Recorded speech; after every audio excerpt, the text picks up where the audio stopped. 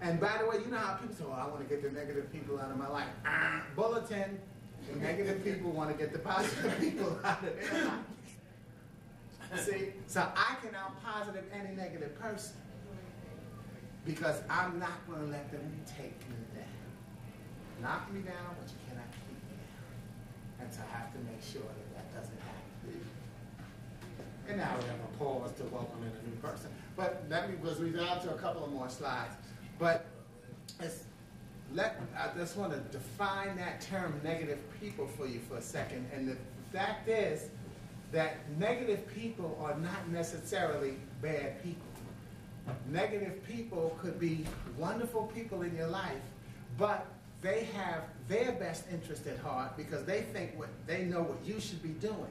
See, so the negativity, when you say you have a negative person, the negativity is actually how I feel when I'm with that person. It's not about the person at all, it's about me. So it's so when you get that phone call, oh God, it's them calling again. See, that's a negative person. Even though they might not be a bad person. But it's just somebody that's always telling you what you should be doing. See, so they're giving you a negative feeling. So, so don't just think that you got to get rid of bad people. You may have to get rid of good people, quote unquote, in your life. People that, you know, family, you know, oh, blood is thicker than water. Yeah, but you can't drink blood. Sometimes you have to let your family members go. Sometimes you have to let the, the, the closest people to you go. Because I say maybe if you're not good at cutting people loose, put them on pause. Learn to put them on pause first. And put them on pause is easy. Got a cell phone, you got call ID. So when they call, why is it? Oh, it's them again. Hello. How about, oh, it's them again. Voicemail. put them on pause. Deny instant access to you.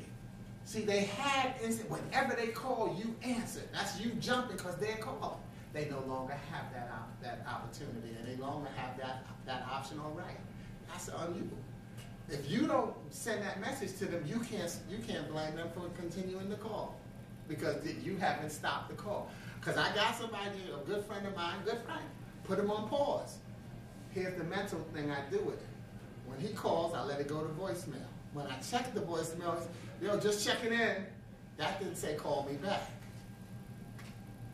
So I don't call him back. Next time he calls, let him go to voicemail again. now I'm the voicemail. Call me when you get a chance. Well, now I'm now I'm returning his call, but I'm not calling him because it's about me.